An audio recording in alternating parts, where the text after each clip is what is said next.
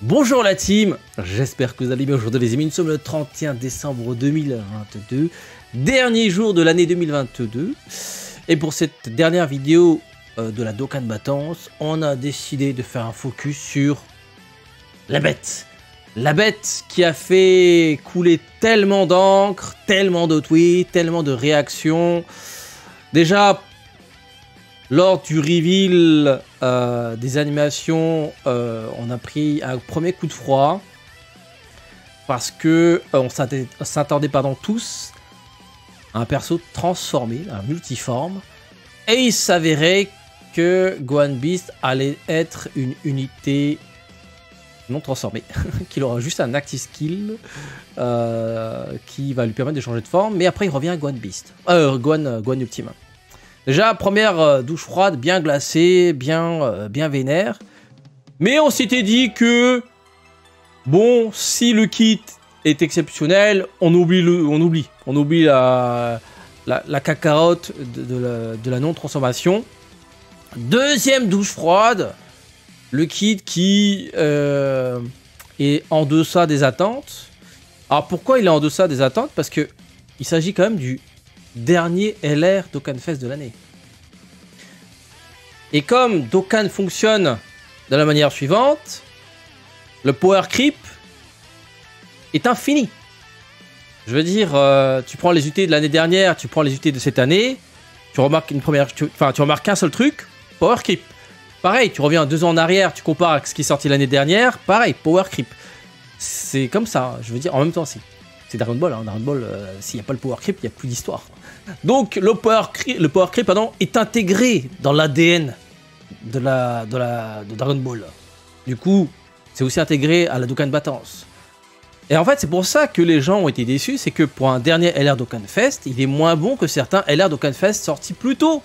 Et c'est ça qui est assez ironique. On va voir ensemble aujourd'hui ce qu'il aurait fallu lui donner pour qu'il puisse briller, pour qu'il puisse se faire respecter pour sa première apparition. Voilà, on va en parler les amis. Comme d'habitude, hein, commencer la VOD, le dernier pouce bleu de l'année 2022 sur la vidéo de, de cette vidéo d'Okan Battance. Euh, si vous êtes nouveau, pensez à vous abonner à la chaîne YouTube, pensez à activer les notifications. Si vous voulez me voir en stream sur Twitch, ça se passe bah, évidemment sur Twitch, le lien se trouve dans la description. Euh, on va reprendre également les streams sur, sur YouTube, hein, comme je l'avais annoncé. Ah oui, euh, comme vous pouvez le voir, euh, Internet a été rebranché, ça fait plaisir. En espérant ne plus être débranché tous les mois, ce serait cool. Bon, alors la bête, la bête, la bête, la bête. Euh, certains l'appellent Gwen Flop. non, mais j'avoue que la douche froide fut, fut violente lorsqu'on a découvert que c'était pas un perso transformé. Elle a été encore plus violente quand on a découvert son kit. En fait, on s'attendait à un perso craqué parce que sur DB Legends, le cousin de Dokkan Battle, ils ont craqué le perso. Il est arrivé, il a cassé la méta. Il est arrivé, il a dit Hey, le patron, le nouveau patron, c'est Baby. Et donc, il était monstrueux. Voilà. C'était. Euh, si tu l'avais pas, bon, bah, t'allais galérer, quoi. On s'est dit, bon, bah, DB Legends, ils ont envoyé la sauce. Donc, Dokkan Battle, on devrait avoir près la même chose, sauf que non. On a pas eu la sauce, nous. Déjà, on n'a même pas Guan Beast, on a Guan Ultime.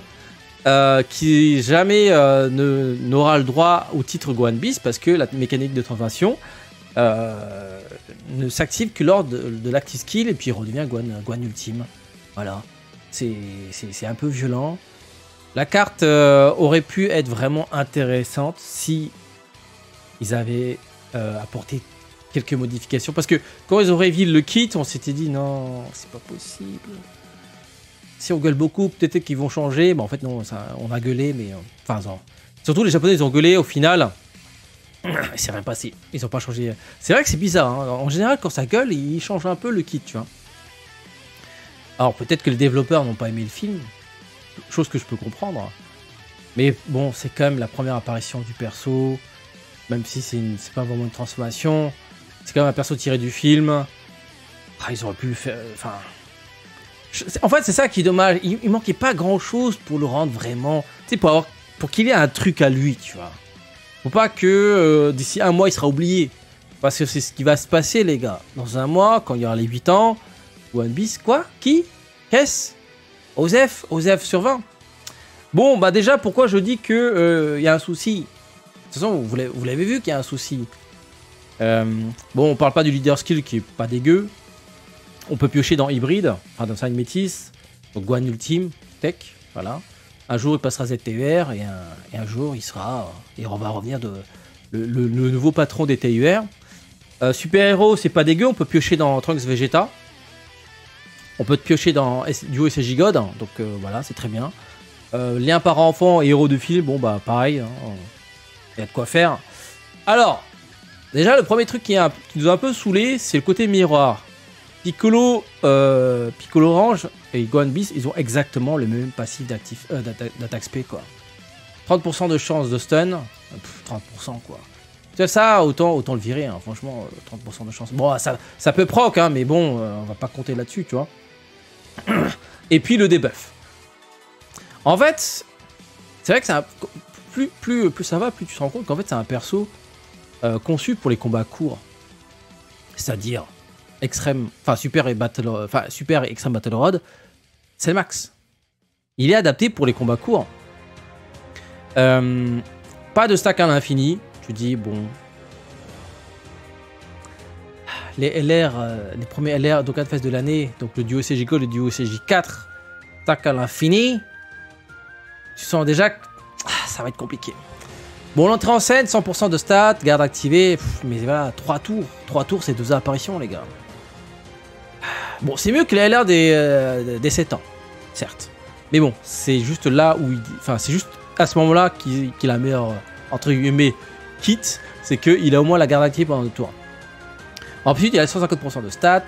Ki plus 1 par sphère de ki obtenu. Alors, c'est pas dégueu. Euh, c'est juste qu'en fait, son Link 7 est très compliqué. Il a euh, des liens, euh, il, a des, bon, il a des liens qui boostent l'attaque. Euh, malheureusement, il a vitesse époustouflante. Il a pas paré au combat. Voilà. Déjà, on perd qui plus 2. Euh, c'est chiant, c'est chiant. c'est voilà, tellement dommage. Même en termes de liens, c'est galère quoi. Bon, bref, il gagne que qui plus 1 par de Cupid, c'est bien. hein. Mais pour un LR, il a besoin, il a besoin de partir en Spirit Team. Et en plus, vous allez voir que son kit dépend du nombre de kits que tu prends. Euh, lance une attaque supplémentaire qui a 70% de chance d'être une attaque spé si la jauge de kit à 20. C'est pour ça que je vous dis c'est important que, la, que, kits soient, soient remplis. Euh, il n'a pas de ki euh, naturellement. Donc il faut, il faut qu'il mange du ki quoi. Et, et donc il faut forcément un changeur de ki ou un alignement des planètes pour que les ki euh, s'alignent et que qu'on ait les ki en orange. Ensuite on a la, dégâts efficace si la jauge, de- la jauge de à 24. Ok ça c'est bien. Mais encore une fois, euh, voilà, il lui faut vraiment un changeur de ki. Bon, 50% de chance d'annuler les attaques de, de type Blast. Ok, c'est sympa. Il n'y a pas de restriction. euh, euh, comment dire on peut, Il peut annuler euh, toutes les attaques SP de type Blast euh, d'un coup. Mais bon, après, c'est que 50%. L'active skill, c'est une attaque mono-cible qui permet de désactiver une attaque, de l'ennemi. Euh, et puis, on va faire que des attaques d'efficace pendant un tour. Voilà. Maintenant, le, souci, le souci, bah, c'est le qui. C'est le euh, parce que je compare avec les LR des 7 ans. LR des 7 ans sortis en début d'année. En fait, les deux là, ce sont les deux premiers LR de, l'année. Et ce qui est assez, en, introduction, ce qui est assez ironique, c'est que les LR sortis en début d'année s'en sortent beaucoup mieux que le dernier LR sorti en 2022. C'est un comble quand même, c'est un comble. Euh, Alors, rapidement, euh, on connaît maintenant stack à l'infini. Voilà, stack à l'infini. Voilà, déjà, là, tu dis Ah Ensuite, bon, entrée en scène également, garde activée pendant un tour. Donc là, Gohan Beast, il a garde activée pendant 3 tours. La différence, dès le début, se, fait sentir. Il gagne qui plus 1 par sphère de ki obtenu. Et attaque ADF plus 77% pendant 7 tours. Il gagne encore ki plus 1 par sphère de ki, de ki obtenu avec le passif de base. Donc en gros, il gagne ki plus 2 par sphère de ki obtenu. Donc en gros, quand tu prends un sphère de ki, tu gagnes 3 sphères de ki. Et là, tu dis Ah Là, c'est bien. Là, c'est bien. On va partir en Spirit Team très facilement. Parce que, euh, comme pour euh, Gohan Beast, hein, euh, pour qu'on lance deux attaques spé, il faut que la jauge de ki soit à 20. Euh, et puis, la- les dégâts efficaces, c'est à 24. Sauf que pour Gohan Beast, l'attaque spé supplémentaire, c'est 70%. Alors que pour les LR des 7 ans, c'est garanti. Donc en gros, lui, il prend un sur de ki, il en gagne 3. Lui, il en prend un sur de ki, il en gagne 2. tu vois, sur le papier, il y en a un qui va partir en spé très facilement. Et surtout que lui, il a l'attaque spé supplémentaire garantie. Et ce n'est pas tout 7% de chance de crit par sphère de ki arc-en-ciel obtenue. Donc en moyenne, tu peux en prendre entre 3 et 4. 5, c'est vraiment très rare. 3 et 4, ça te fait 21% de chance de crit à 28. Soit quasiment une chance sur 3. Donc du crit intégré. L'attaque sub garantie. Les dégâts efficaces. Et le, et stack à l'infini. Tu dis waouh, waouh, qu'est-ce que c'est que ces dingueries Et après tu regardes les LR, euh, le LR Gohan tu dis ah, ah, ah. En fait, il aurait fallu lui donner deux sphères de ki obtenues sphère de ki obtenue, mais sans condition de tour. Ah, parce que les LR des 7 ans, ils ont quand même un petit défaut, hein, ils, bah, sont pas parfaits. Euh, le ki supplémentaire, c'est seulement pendant 7 tours, donc euh, jusqu'à 4 apparitions. Après, euh, c'est perdu ça. Et en plus, il perd des stats. Donc, mais bon, comme il stack à l'infini, c'est compensé en fait. Mais voilà, tu donnes à Gohan Beast qui plus 2, peu importe les situations, peu importe le nombre de tours, là déjà c'est mieux. On va plus facilement remplir la jauge de ki à 20, voire, voire 24. Donc là c'est bien. Euh, il aurait fallu, selon moi, vu que le perso est plutôt orienté combat court, il aurait fallu lui donner la garde activée pendant 5 tours. C'est-à-dire 3 apparitions. Juste un, une apparition supplémentaire et ça aurait été très très bon. Parce que euh, 3 apparitions, ça va lui permettre de récupérer ses stacks. Parce que oui, ses stacks à lui, c'est euh, par attaque spé lancée. Il faut qu'il en lance 5. Putain, 5 c'est long, hein, parce que l'attaque spé supplémentaire n'est pas garantie. Eh oui, c'est ce que 70%. Mais bon, voilà, si tu lui donnes 3 tours, t'as les gardes activées. C'est-à-dire que t'es un peu fragile, hein. pendant les 3 premiers tours, t'as pas beaucoup, enfin, t'as pas tout tes, tout tes sacs, t'es un peu fragile.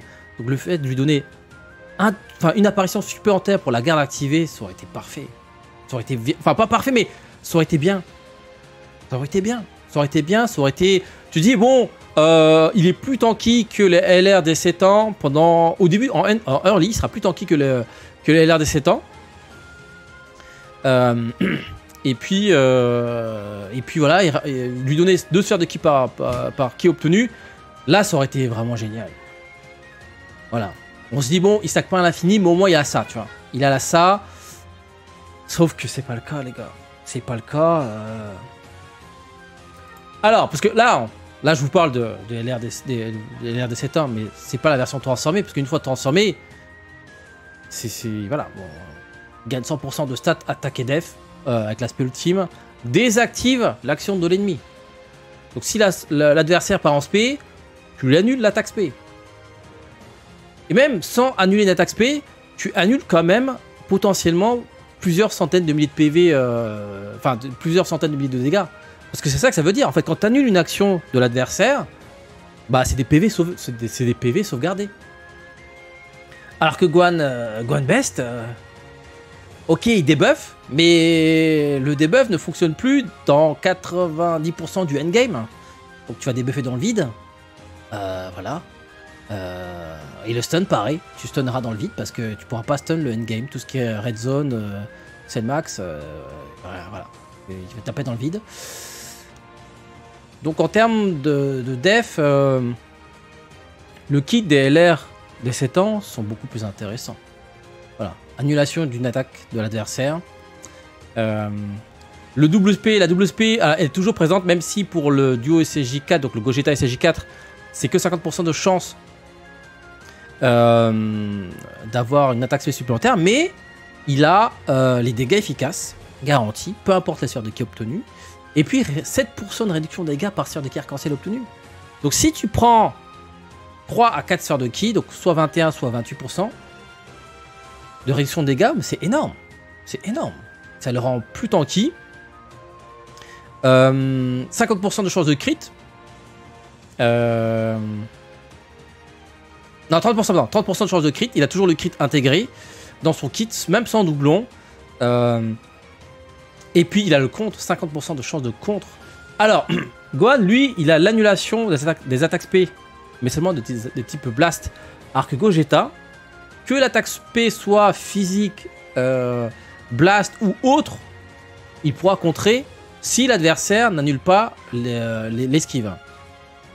Donc dans ce cas-là, évidemment, ça devient intéressant. L'active skill ou critique garantie. L'active skill de Gohan. euh, attaque efficace et désactive l'action de l'ennemi. Tu même l'active skill est moins intéressant. Ouais, même l'active skill est moins intéressant parce que Gogeta, il a les dégâts, efficaces. Donc dégâts efficaces plus critique derrière, bah les dégâts se font voir. Et en plus, comme je vous ai montré en- tout à l'heure, il stack à l'infini. Donc si le combat dure un certain tour, un certain nombre de tours, il aura pris des stacks, il aura pris des, euh, voilà, il aura, davantage de stats. Et donc forcément, il fera euh, de plus en plus de dégâts. donc en fait, les 7 ans sont incroyables.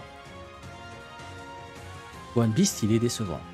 Maintenant, imagine, maintenant, imagine, imagine, imagine, imagine, Gohan Beast serait sorti euh, en début d'année. Il serait sorti en début d'année.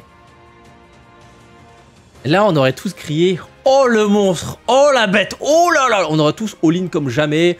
On aurait forcé comme jamais. On aurait claqué 1000 DS, 2000 DS, 10 000 DS, je sais pas, mais. Parce que ça, enfin, Gohan Beast sorti en début d'année, ça aurait été exceptionnel. Le kit est vraiment bon en vrai.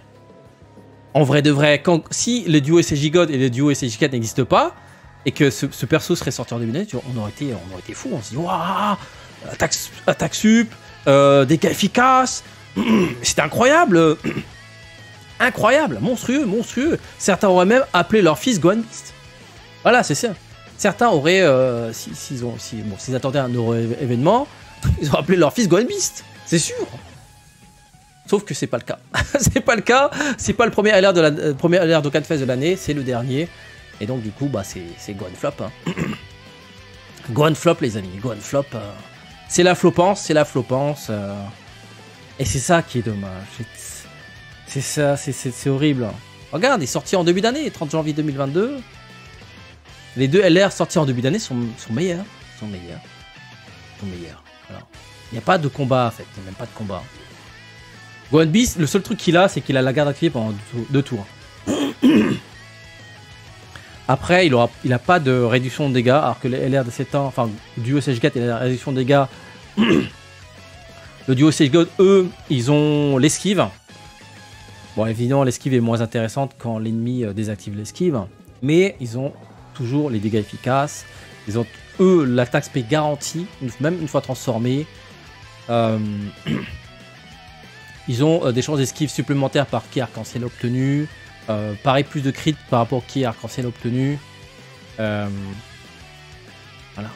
C'est. Ils ont un meilleur kit, quoi. Et c'est tellement dommage. C'est tellement dommage. Voilà, franchement, 5 tours, garde activée.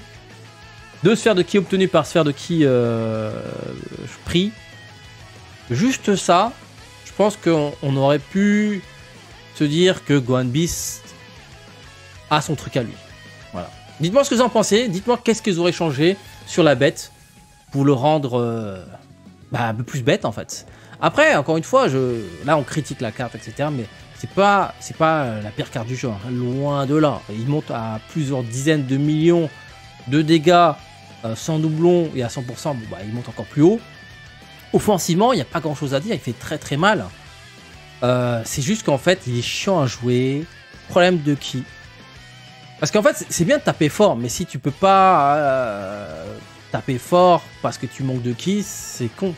C'est ce que je veux dire? Euh, c'est un peu dommage. Donc il faut, euh, il faut soit des changeurs de euh, qui rentrent dans, la catégorie et qui soient pas dégueux, qui se fassent pas défoncer, tu vois. Donc c'est ça le, souci. Voilà, voilà. C'est tellement dommage. Alors que Piccolo Orange, il n'y a pas de souci. Hein. Piccolo Orange, même s'il a des problèmes de ki, vu que c'est une unité tanky, euh, voilà, il s'en sent pas trop mal. Euh, il est quand même bien, bien solide.